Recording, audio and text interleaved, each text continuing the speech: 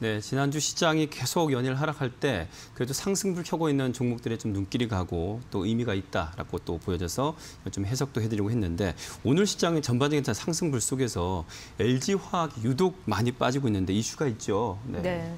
이슈는 있기는 합니다만 일단 GM이 추가적으로 어, 19년에서 22년형 어, 판매했던 그 모델이 있어요. 네. 전기차 모델인데 일단 추가 리콜 소식을 전해왔습니다. 그러면서 사실 배터리 셀에 있어서는 LG 에너지 솔루션이 제조를 했습니다만 지금 시장에 상장이 되어 있지 않다 보니까 음.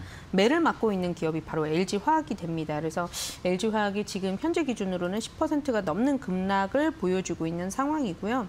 LG 측에다가 지금 GM이 추가적으로 지금 배상을 어, 시도하지 않을까라고 보고 있습니다. 그러니까 네. 배터리 셀은 LG 에너지 솔루션이 만들었고 그것을 모듈 조립을 한 것이 LG 전자 인데 기존에 이제 리콜을 한번 일어났었던 상황이고요. 이번에 지금 리콜 규모가 1조 원대가 약간 넘어가는데 우리 음. 원화로 따져보자면 그러면 배상액이 어, 최대로는 한 2조 원 수준까지 올라갈 수도 있어요. 그래서 음. 이것을 완전히 배터리 결함으로 몰고 갈 것인지 아니면 어, 차를 조립을 하는 그런 과정에서 어, 다른 쪽하고의 어떤 그런 문제인지 그 비율에 따라서 배상액이 최종적으로 결정이 나게 됩니다. 어쨌든 어, 한 가지 더 말씀을 드리고 싶은 것은 LG화학이 전주에 다른 여타 종목군들처럼 같이 덩달아 큰 폭으로 하락을 했었다면 네. 오늘 똑같은 이 이슈라 하더라도 이렇게까지 하락하진 않지 않았을까라는 음. 생각을 해보게 되는데 네. 지난주에 상대적으로 너무나 견조했었던 그런 상황에다가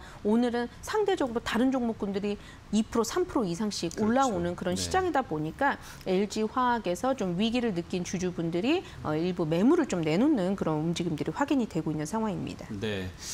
자, 그럼 매매 전략을 봤을 때 이게 저가 매수 기회로 봐야 될지 어떻습니까? 저가 매수를 논하기에는 다소 좀 이른 감은 있습니다. 음. 물론 그 전기차 시장과 배터리 시장에 대한 기대감은 아직 여전한 상황이고요. 네, 네. 시장이 이제 막 태동을 하는 그런 상황이기 그렇죠. 때문에 초장기적으로 투자를 하시는 분들은 이러한 일이 그 주가 변동에 일희일비 하실 것은 아니지만 그렇죠. 그렇다고 해서 어, 저가라고 판단을 내릴 만한 그런 위치는 아니라는 음. 거죠. 보통 이렇게 차트를 한번 보실까요? 지금 거래량을 동반을 해서 시장에서 일단 악재라고 불릴 만한 뉴스가 나오면서 이렇게 하락 그 이탈을 하게 될 네. 경우에는요.